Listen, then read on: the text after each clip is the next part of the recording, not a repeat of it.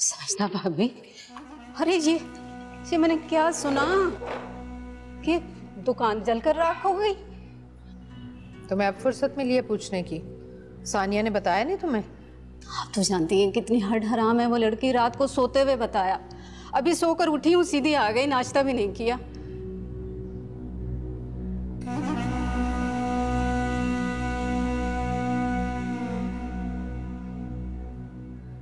ने बहू भी खूब दी ना। तो खुशखबरी तो सुनाई नहीं। उल्टा घर ही उजाड़ दिया। अल्लाह ना करे। क्यों उजड़े मेरा घर? अरे दुकान जल के राख हो गई। और कैसे उजड़ते हैं घर?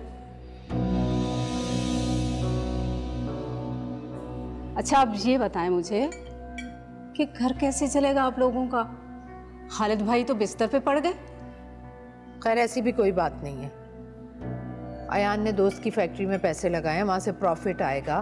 फिर मुंतहा की तनख्वाह आएगी तुम्हें परेशान होने की कोई ज़रूरत नहीं। मैं क्यों परेशान होने लगी? हाँ ये, ये तो मैं भूल ही गई कि मुंतहा है ना अब उसके पैसों से घर चलेगा।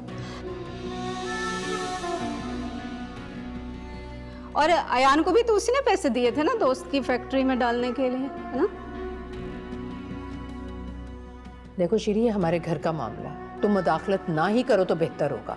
मैं तो अरे अब मैं तो वैसे मैंने तो कहा ये तो खामा खामा ही गुस्सा कर गया।